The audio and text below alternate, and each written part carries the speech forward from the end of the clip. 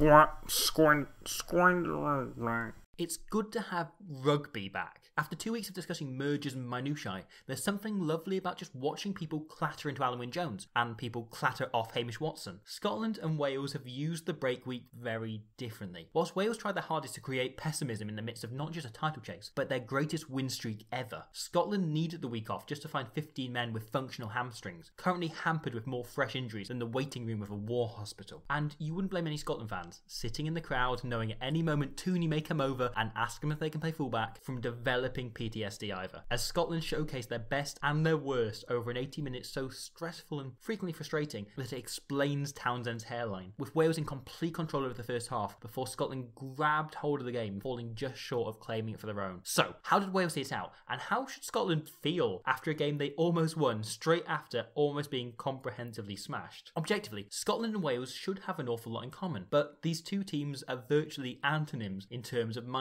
and that proved to be the difference on Saturday with Wales's calmness seeing them pass Finn and Friends as frenzy mode. Maybe it's because the team are used to Arriva Trains Wales as a service, but Wales have more patience than a dyslexic doctor. This has been the secret to Wales's win streak, a composure in adversity and a belief in themselves. This Wales team believes it will get the job done by crook but thankfully not hook. This is core to how they attack. They have a confidence to keep the ball and the patience to wait for chances to present themselves, rather than just risking anything early. This is well showcased by how their attack changes when they get close to the line. Across most of the field, they like to vary their play, using Anscombe's reputation as a running 10 to draw defenders before dropping off passes to forward carriers or trying to spark an attack wider. However, upon getting into the 22, Wales play everything off 9. They pick and go, they drive tight, even using their sizable backs as alternative carrying options. However, there's one back who doesn't get involved, with Gareth Davies at scrum half dictating the immediate play and bringing runners onto the ball. This allows Gareth Anscombe to look at the bigger picture. When deep in the opposition territory, Wales' 10 receives far less ball. His job instead is to watch. Whilst his pack fights for every inch, Anscombe stands back and analyses the defence in real time. With Wales carrying, how does Scotland react? Do they trust their usual system and leave the fringes lesser defended? Do they cramp around the breakdown and thin their line in the middle? Do they fold inwards and leave space wide? It's Anscombe's role to keep an eye on this and call the play accordingly. He's been criticised in the Six Nations for not doing as much flashy stuff as Biggar or himself a year ago, but that's because it isn't really his job. A couple of years ago, Wales would have looked to involve Anscombe far more, and he would have looked to do far more, probably snuffing out this attack by running up a blind alley or throwing a mental loopy spin pass. But now he just calmly watches the other 29 players, not focused on himself. Wales still bringing their backs into the game and looking to find width, but whereas most teams would consider that a job for the 10 to get going, Wales leave Anscombe to mastermind all from behind. Instead of doing something flashy, he waits for a chance to present itself. And when it does, he doesn't overplay it. He just throws a simple pass to Jonathan Davies, who ends up in perhaps the most perfect microcosm of the Welsh game plan. As our foxy friend finds himself confronted with a two on one, he knows he has two options pass to Adams or go himself. Instead of predetermining the decision, Davies holds his nerve and checks. He knows Kinghorn has to make the same decision. Does he stay on Davies? Does he drift off to Adams? The split second Kinghorn begins to drift, Davies dives to the line and finishes the try. Had Kinghorn stuck on Davies, could have just as easily thrown the pass and put Adams in the corner. It's just taking half a second to read the game in front of you, rather than manically making your mind up as you catch it. This was exactly where Scotland went wrong. Their backline is capable of being lethal in attack, but it seems like nobody knows that better than Scotland. They back themselves, but they don't trust themselves. Willing to go for risky plays constantly because they know they have the ability, but not willing to wait for the moment which it might actually be on because they lack the composure. That's perhaps best surmised here. Scotland are given a penalty advantage and instantly go for the low percentage play, figuring they might as well have a shot because the penalty's coming. Contrast that to how Wales continue to press on penalty advantage, treating it as a safety blanket, not an excuse to go tartan kamikaze. Scotland then go for the scrum from the penalty, turning down a shot at goal, not trusting themselves to get back down into Wales' territory to accumulate the other points they'd need to take the lead. Again, it's a sharp contrast to last week, where Wales didn't panic after England went 10 3 up. They just chipped away their lead, believing they'd get more chances for points as the game went on. Scotland put a lot of pressure on the Welsh line, but it took a ridiculous piece of skill to break it. Now, I've confessed to being somewhat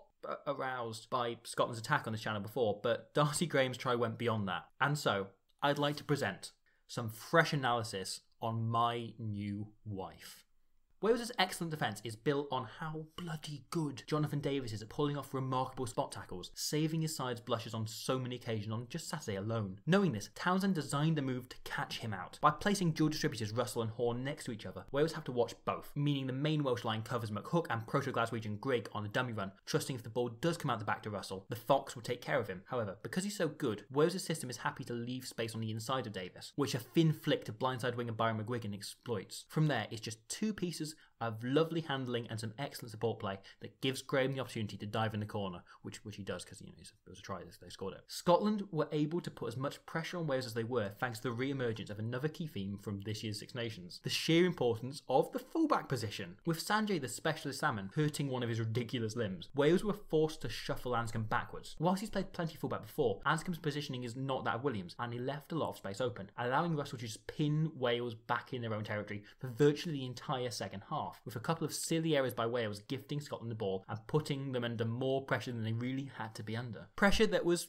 possibly more than doubled by the presence of Hamish Watson, who came on and clattered like nobody's business, beating more defenders in 20 minutes than any other player did in 80, able to break tackles like his teammates could break their own bodies. Having him back is a huge boost for Scotland team who were about two more injuries away from being able to call monopoly on the Edinburgh Royal Infirmary, and yet nonetheless have to travel to Twickenham and put the Calcutta Cup they fought so hard for last year on the line. And Wales head towards Grand Slam Saturday, hoping not to get caught up in the politics again. This week, they somehow managed to claim victory in a tireless, hugely physical battle after a long week of foregoing training to sit through meetings and negotiations, which is a bit like Jean-Claude Juncker going out and winning gladiators on a Sunday. Next week, however, Wales played defending champions Ireland for the title, the winner setting themselves up as a major World Cup contender. It might be the final round of the Six Nations, but the way things are going, let's hope rugby doesn't plan on going anywhere anytime soon.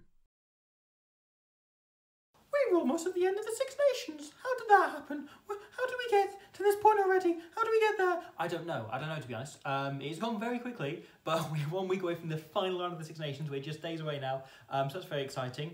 Um, that was a video on the, the penultimate round.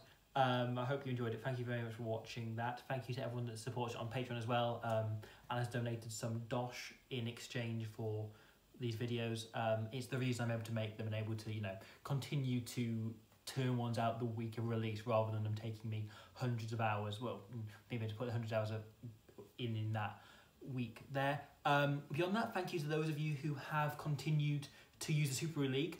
Again, we're coming to the final week of this, and it's got very, very tight at the top, a bit like the real Six Nations. Uh, still top, as it has been the entire way, is the Elite Biscuit Farmers Vivid Oysters, a familiar name but just two points behind. That's like you know two missed tackles or similar uh, in the league. Is BG's cheeky sardines, which has really crept up. You know, he's been there or thereabouts, and then climbed up in the last few weeks, uh, and then coming into third again, just six points off second. So entirely possible he could take it in the final round. Is Andy Powers golf buggy lessons, which is not something I was familiar with, um, and I hope he wore more than the jockstrap for those uh, when Mr. Pricey was taking him around, uh, who took the yellow cap this weekend. There is going to be, Super are going to send a yellow cap to whoever wins. Um, so, you know, there's a few more people in contention there or thereabouts. Um, but at the moment, it's very tight at the top. We'll have to see how that one goes. Likewise, I'll see you next week when we'll have more rugby stuff, um, when we'll know who's won the Six Nations for 2019. See you then. Bye.